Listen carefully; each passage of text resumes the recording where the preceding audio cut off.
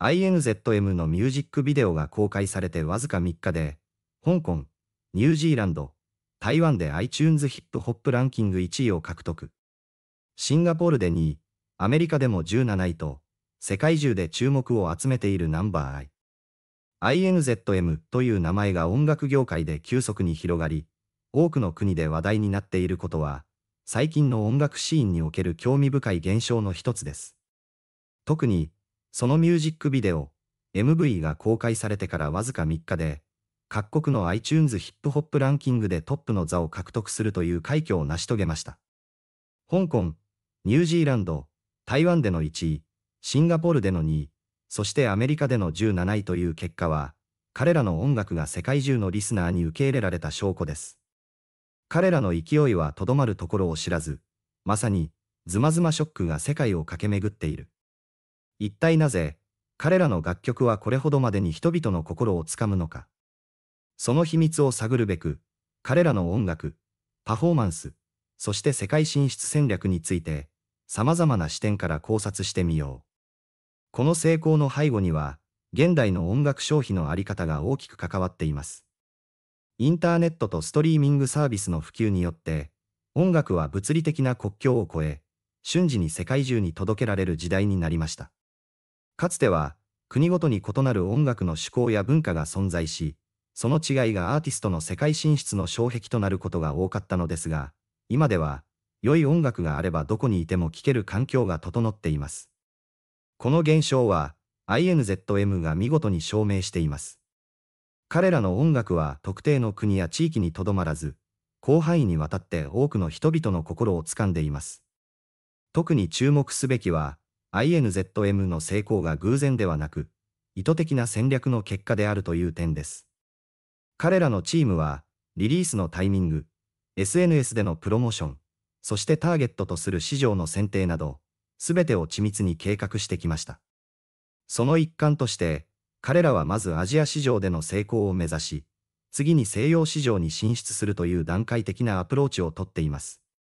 この戦略は、アジアでの圧倒的な支持を得ることで、その勢いを持って他の市場にも進出するというものであり、現在のランキング結果はその成功を物語っています。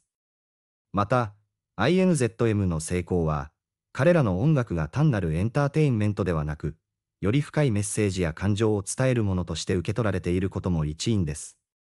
リスナーたちは、彼らの歌詞やビデオのビジュアル表現に共感し、それが音楽そのものの価値をさらに高めています。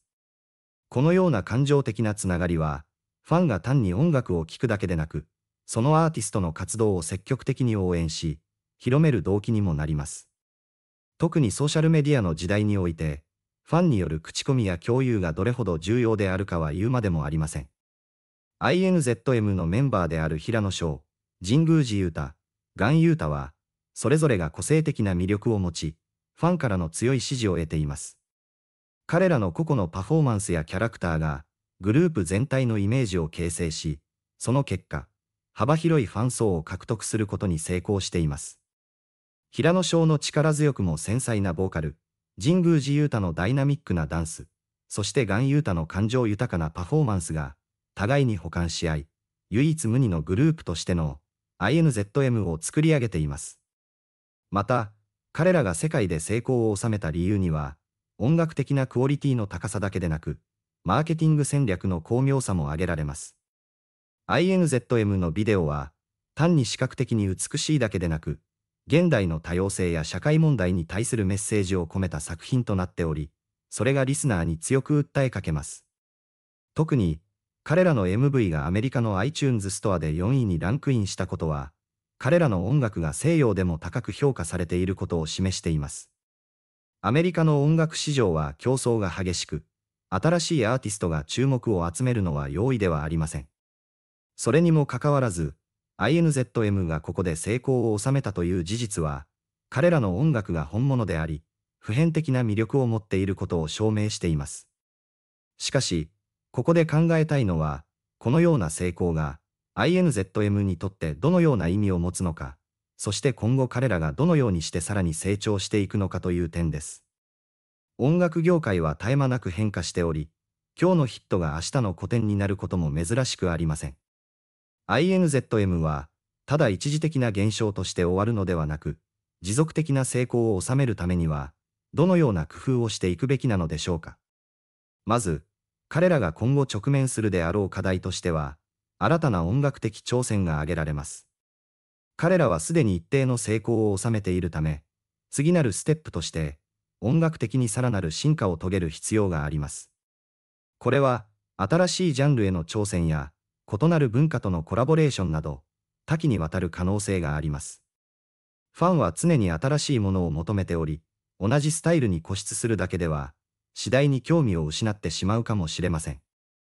INZM がどのようにして新しい音楽的方向性を探求し、進化していくかが、彼らの未来を決定づけるでしょう。さらに、国際的なファンベースの拡大も重要な要素です。現在、彼らは主にアジアを中心に人気を博していますが、より広い世界市場での成功を目指すには、言語や文化の壁を越えていく必要があります。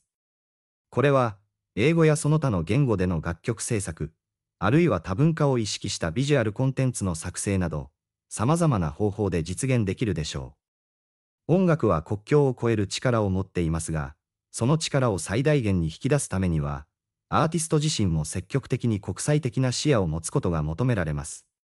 彼らの世界進出戦略も、成功に大きく貢献している。世界進出を本格的に指導させた彼らは、積極的に海外メディアへの露出を増やし、海外ファンとのコミュニケーションを強化している。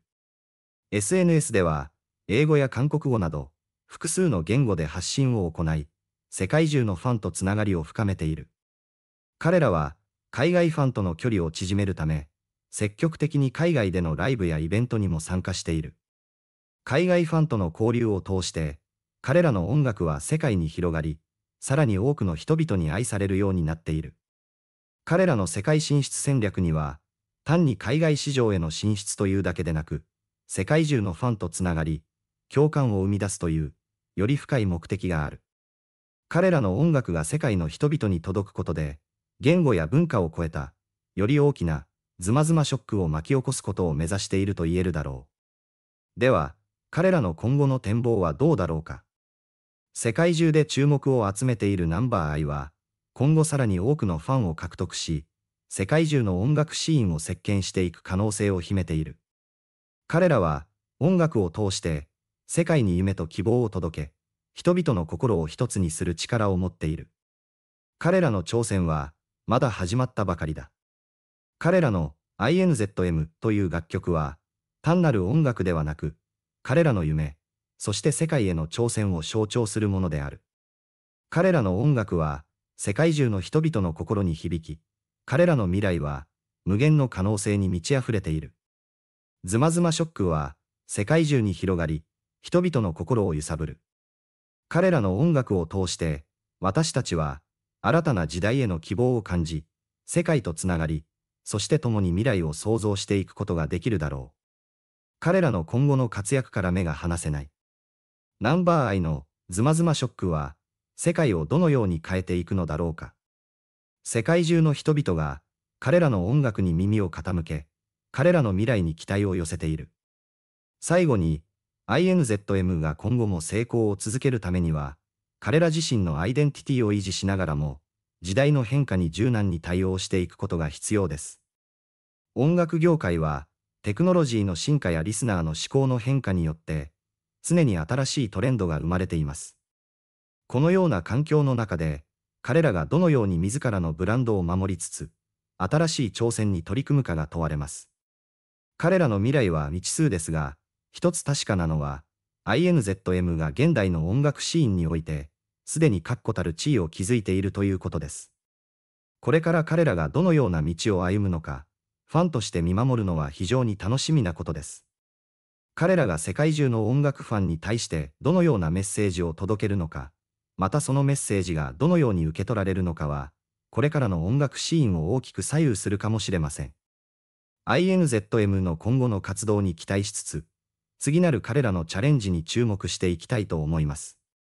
彼らの音楽がさらなる高みへと到達することを願って、そして次にどんなサプライズが待っているのか、楽しみにしています。